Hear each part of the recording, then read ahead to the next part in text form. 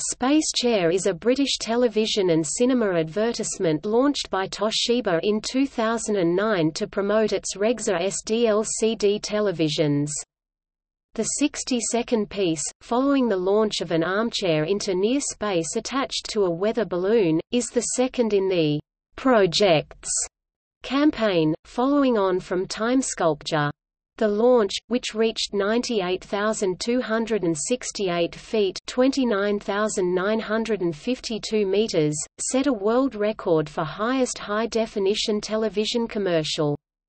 Space Chair premiered on European and Japanese television on 16 November 2009.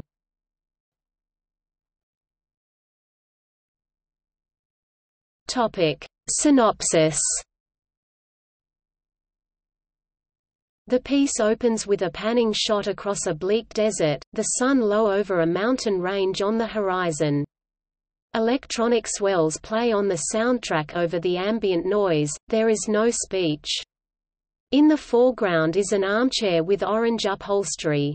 This cuts to an overhead shot taken from above the chair as a team of handlers release it, and then to a shot revealing the balloon the chair is attached to. A series of beeps from the GPS tracker begins to sound as the chair rises from the ground, and a sequence of shots from on board the balloon rig show the contraption climbing higher and higher above the ground. A car races across the desert below, raising clouds of dust. As the altitude of the chair rises, the wind begins to whistle and the curvature of the Earth becomes apparent.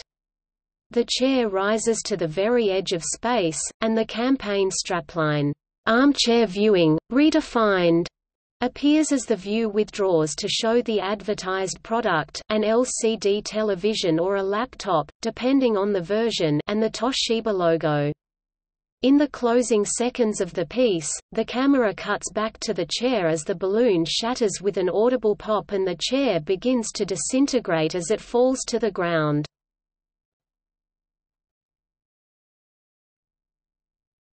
Topic: Production.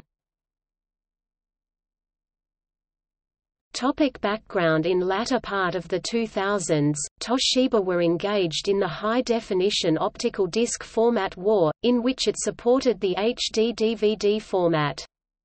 In 2007, Toshiba decided to consolidate its European advertising ventures with a single advertising agency, where previously it had split its £25 million marketing budget between Lowe, Saatchi and Saatchi, Grey Global Group and Young and Rubicam.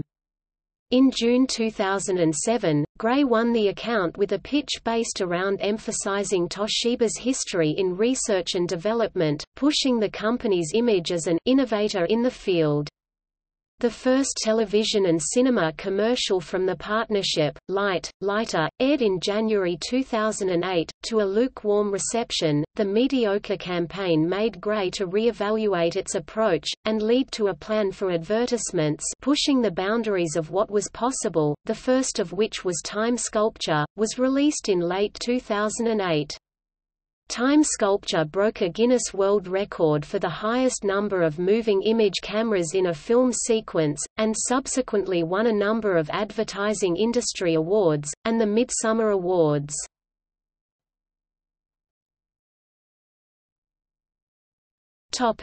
Artistic concept. Escape Vehicle Number 6 Artist Simon Faithfull, commissioned by the Arts Catalyst in 2004 for the Artists Air Show, made the film, "'Escape Vehicle No. 6". This film was later exhibited in Faithfull's solo show, "'Gravity Sucks' At the British Film Institute in London, Toshiba liked the idea of taking Faithfull's work, showing the launch of a chair into the upper atmosphere, and refilming it in high definition using Toshiba technology. A working budget of £3 million was given for the campaign.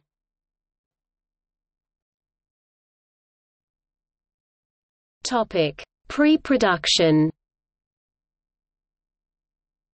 Director of photography Haris Zambarloukos, known for his work on Enduring Love and Mamma Mia, was asked for advice on how to film the ascent. Zambarloukos consulted with the specialist camera company Polecam, who advised that the only 1080i HD camera which would be small, light and robust enough was one developed by Toshiba itself, the Toshiba IK-HR1S.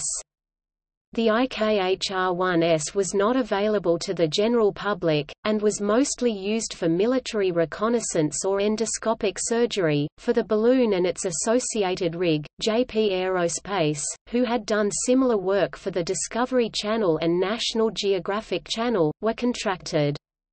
With the commercial airtime broadcasting already purchased, no one willing to insure the project due to the high risks. Three backup rigs were available as JP Aerospace considered the balloon rigs could come down in areas up 600 miles 970 kilometers away. Topic: Production. JP Aerospace faced several obstacles in the construction of the balloon rigs. The pre-purchasing of the commercial airtime left only four months for production, where normally the company would spend over a year assembling components. Since the shoot was to take place in the Black Rock Desert in Nevada, United States, it would fall under the purview of the Federal Aviation Administration, whose regulations stipulated that the entire craft weigh no more than 4 pounds (1.8 kilograms) in case of collisions with aircraft. This weight restriction meant that the cameras couldn't be equipped to transmit footage back to base, so the rig had to be hardy enough to survive re-entering it over Mach 1 and striking the ground. To accomplish this, the rig was equipped with a lightweight parachute, and the equipment racks and camera boom were designed to collapse on impact, reducing damage to the cameras. The weight restriction also meant that a model chair had to be used in place of an actual armchair. The model, constructed of hollowed balsa wood and lightweight fabric, was designed by special effects company Artem for around £2,500. The rigs were launched on the weekend of 26 September 2009, 12 miles 19 kilometers northeast of Gerlach, Nevada. Setup began two hours before sunrise, with a crew of 12 from JP Aerospace assembling the 900 MHz antennae which would track the GPS signal from the rigs, inflating the balloons under canvas covers, and performing checks on the equipment. Each rig was equipped with two cameras, and each camera was equipped with different lenses and set at different angles to capture 512 gigabytes of unique footage each. Two launches were scheduled for the first day. Each launch required someone to pull a canvas rip panel, releasing the balloon, while four people guided the chair and camera rig across the ground to a position underneath the rising balloon. The first rig partially collapsed on takeoff, but it remained intact enough to rise for over 82 minutes, reaching a height of 98,268 feet before the balloon shattered and the rig fell for around half an hour before hitting ground. At one point during the ascent, telemetry from the rig recorded a temperature of minus 60 degrees Fahrenheit minus 51 degrees Celsius before the air became too thin to dissipate heat effectively and the temperature rose again. The cameras on both of the first two rigs were offline, but usable footage was recovered from the second launch, albeit slightly overexposed. Two additional launches were made the following day, with the fourth recapturing footage unrecoverable from previous launches. Despite the four balloons reaching heights of 98,268 feet 29,952 meters, 93,000 feet 28,000 meters, 94,000 feet 29,000 meters and 82,000 feet 25,000 meters all of the rigs and cameras were recovered within 12 miles 19 kilometers of the launch site. The launch reaching 98,268 feet set a new world record for highest high-definition television commercial. In all, 16 hours of footage were recorded and handed to the mill for post-production.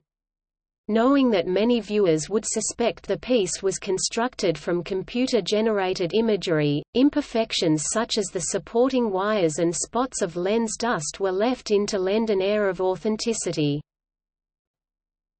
Topic release and reception Grey London created an online presence for the campaign. An interactive website, wherewillitland.com was launched and promoted through social networking websites such as Twitter and Facebook. The site allowed consumers to make guesses as to where the launched chairs would land, with the winner receiving a 46-inch Regza SV Series LCD TV. Additional content, including a making of documentary, was made available at a dedicated section of the Toshiba UK website. Spacechair premiered on European and Japanese television on 16 November 2009, for a period of three weeks. After a break of several months, a slightly recut version of Space Chair was used to promote Toshiba's Satellite T laptop computers. The campaign received mixed reactions, while it received more than half a million hits online within days of its launch. Noel Bussey of Campaign magazine said of Space Chair, the idea, execution, astounding shots of Earth and the making of video are all superb. However, Damon Collins, executive creative director at Young and Rubicam was less impressed with the piece, commenting, I salute the clients and team for trying something different, but, if pushed, the result still reminded me a little of a Sony ad from about 10 years ago where the guy fell from the sky in his armchair. Toshiba, however, were fairly satisfied with the campaign and entered talks with JP Aerospace about a similar commercial in 2010.